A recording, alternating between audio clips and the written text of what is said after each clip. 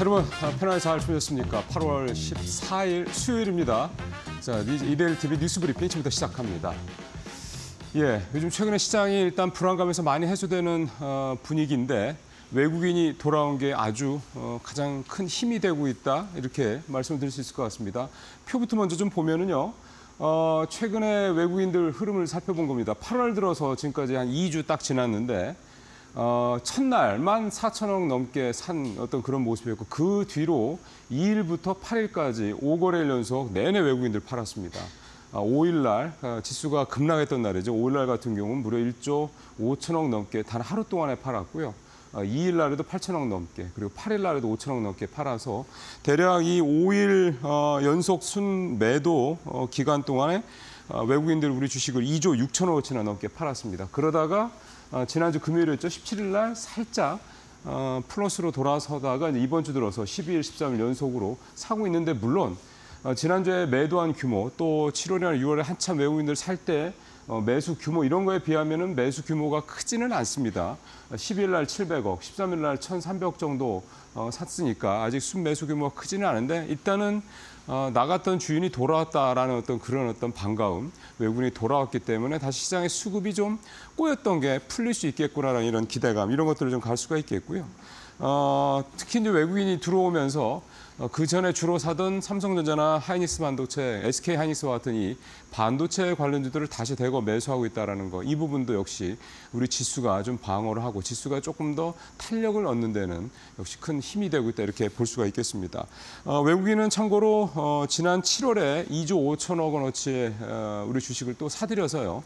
어, 9개월 연속 어, 국내 시장에서 월간 단위로 순매수를 기록을 하고 있다. 이런 점도 다시 한번 좀 말씀드리겠습니다. 자, 시장이 지금 어쨌든 어, 지난주에 어떤 상당히 불안한 상황에서 패닉 상황에서 좀 벗어나는 모습이 좀 나타나고 있기 때문에요. 어, 최근의 상황을 어, 좀 이렇게 표로 한번 그려보면서 어떤 업종이 전체적으로 시장이 좀 안정돼가는 상황에서 어떤 업종이 더잘 어, 가고 있는지 견주한지 이런 부분들을 좀 살펴본 그런 그래프인데요. 표를 한번 볼게요. 이 표를 이제 잘 이해를 하셔야 되는 게 오른쪽 하단에 저 하얀색은 7월 11일 대비 8월 5일 주가 변동률. 그다음에 아, 노란색은 8월 5일 대비 8월 13일 주가 변동률입니다. 기준이 8월 5일이라는 거죠. 8월 아, 5일이라는 건 여러분들 기억하시는 것처럼 어, 코스피가 마이너스 8%, 코스닥이 마이너스 11% 넘게 정말 폭락을 했던 그 지난주 월요일 얘기입니다. 자, 표를 보면 어, 지난주 어, 월요일 기준으로 8월 5일 기준으로 7월 11일 대비해서 코스피는 마이너스 14%가 하락을 했었고 그다음에 8월 5일 13일 기준으로 해서는 7%가 반등을 했습니다. 이제 이 기준으로 보시면 됩니다. 어, 제일 지금 반등을 덜 떨어지고 반등을 많이 한 건 조선주입니다. 0.7%가 오히려 올랐고 그 하락기에도요. 그 다음에 반등할 때 10%가 넘게 반등을 해서 가장 높게 올랐고요. 그 다음에 질병 쪽이 4% 떨어지고 8, 9% 가까이 오르고 운송물도 좋았죠. 6%에 7% 플러스. 의료도 좋고 금융도 좋고 바이오 좋고 이렇게 어, 정리를 해보면 조선, 질병, 운송, 의료, 금융, 바이오 순으로 이 업종들이 어, 최근 일주일 급락기에도 상당히 반등을 많이 했고 또는 어, 견조한 흐름을 보였다. 덜 떨어졌다 이렇게 볼 수가 있는 거고 반면에 이제 지수 회복세보다 좀 낮은 수익률을 기록했던 업종을 살펴보면 역시 화학 업종이 여전하고요. 그 다음에 상반기에 굉장히 좋았던 업종 가운데서는 화장품주가 좀 흐름이 조금 불, 어, 좀 부족했던 그런 모습들이 나타났고 엔터주도 역시 마찬가지입니다. 엔터주는 뭐 최근에 하이브와 관련된 좀 악재들도 있었던 측면도 좀 있는 것 같고요. 어쨌든 이렇게 어, 장이 안 좋을 때도 어, 덜 떨어지고 많이 오는 업종들이 그만큼 실적이라든 이런 부분들 펀더멘털이 탄탄하다 이런 어떤 방 증이기 때문에 이런 업종들을 좀 잘 눈여겨보시고 이 중에서도 대장주라든가 실적이 더 좋은 종목들을 잘 선별을 놓으셨다가 장이 빠질 때 이렇게 어, 단계적으로 들어가시는 분할 매수하시는 이런 전략들 이런 것들이 리스크를 줄이는 어, 방법이 되지 않겠나 생각합니다. 자, 그다음에 어, 8월 달 들어서 이제 2주 정도 됐기 때문에 이제 이델리에서 이제 매달 하는 그 이제 기획 기사죠. 국민연금이 이제 어떤 종목들의 보유 비중을 줄였고 또 확대했는지 이 부분도 또 어, 표를 통해서 좀 확인을 해보면서 설명을 좀 드리도록 하겠습니다. 어, 국민연금이 15개 종목에 대해서 이제 비중을 어, 줄이거나 늘렸는데요. 어, 9개 비중을 늘렸고 6개 비중, 6개 종목에는 비중을 줄였습니다. 지금 변호사 보시는 것처럼 비중을 늘린 종목들은 뚜렷한 특징이 있습니다. 삼성증권, NH투자증권, 키움증권, 삼성생명, 어, 그, 그 금융주, 특히 증권주들이 굉장히 많이 비중을 늘렸던 그런 상위 쪽에 속해 있는 앞에 속해 있는 그런 종목들이고 SK 스퀘어고 SK 스퀘어는 이제 SK 그룹의 중간 지주회사인데 어, 11번가 같은 유통 쪽하고 SK 하이닉스를 품고 있는 그런 이제 중간 지주회사죠. 자, 그다음에 비중을 축소했던 어, 종목들 보니까 SK 하이닉스가 있고 현대차, 기아 같이 있고요. 삼성물산 있고 삼성물산 이제 삼성그룹의 이제 지주회사라고 보는 거죠. LG 생활건강, 화장품주가 적안 좋은 거는 뭐 이해가 되고요. 좀 이제 평가를 해보면 SK하이닉스는 일단 뭐 최근에 그 AI 관련된 이 수익성 뭐 우려 논란 이런 것들이 반영됐다고 봐야 될 것 같고요. 현대차와 기아가 동시에 같이 비중이 축소됐다라는 거는 일단은 그 경기가 위축이 되면 이 자동차가 그 내구재 조금 가격대가 있으면서도 오래 쓰는 이 내구재의 가장 대표적인데요.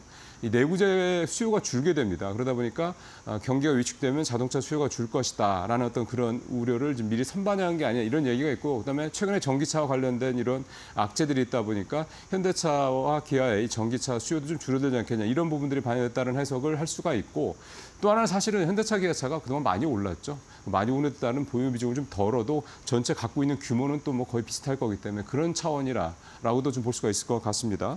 그 다음에 SK 하이닉스가 들어 있었고 어, 그 다음에 또 하나 삼성물산 들어 있고요. 이런 부분들이 이제 보유 비중을 축소했던 이런 어떤 회사다 이렇게 볼 수가 있겠고. 재밌는 거는 앞서 이제 보셨겠지만 보유 비중을 늘린 어, 그 중에 대표적인 SK 스퀘어가 있었고요. 그다음에 보유 비중을 축소했던 종, 개별 종목에는 또 SK 하이닉스가 있는데요.